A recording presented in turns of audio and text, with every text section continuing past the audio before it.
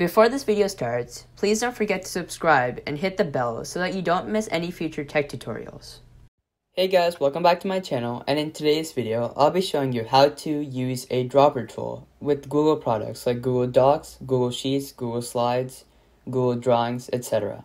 So unfortunately, uh, Google products don't offer the dropper tool um, by default, so you'll have to download an uh, Chrome extension to use it. A dropper tool is usually available on um, editing softwares, so you can drag the dropper onto a certain color or image, and the computer will identify the, um, the exact color, and then you can use that color for text or boxes. So let's get started. First of all, go to the Chrome Web Store and download eyedropper. The link will be in the description below. And once you've downloaded that, go to a web page or image that you want to uh, copy the color from. So for example, I'll search up red car and then go to extensions, go to eyedropper, and then click on pick color from web page. Now drag your cursor onto the exact uh, place where you want to copy the color. Click, and then go to Google Docs or any Google product.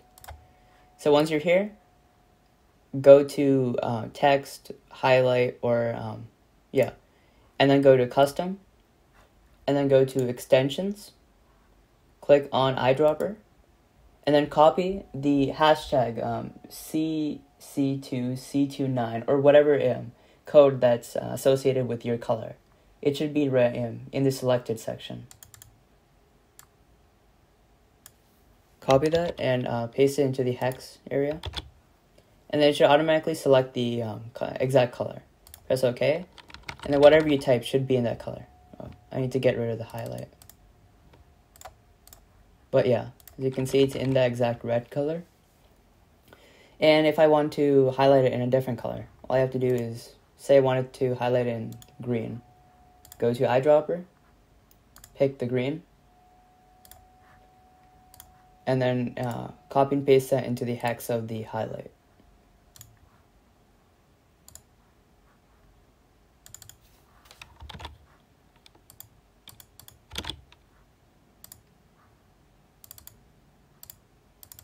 As you can see, the highlight um, is in that exact color.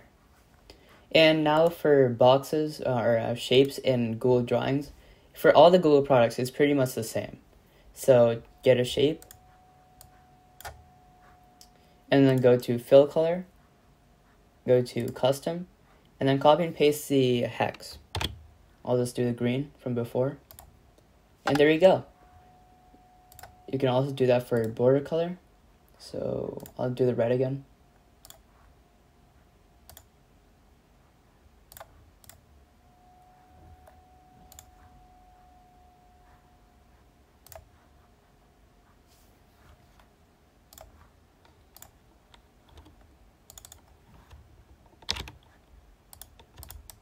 And as you can see, it uh, the border will be red if I increase the the width.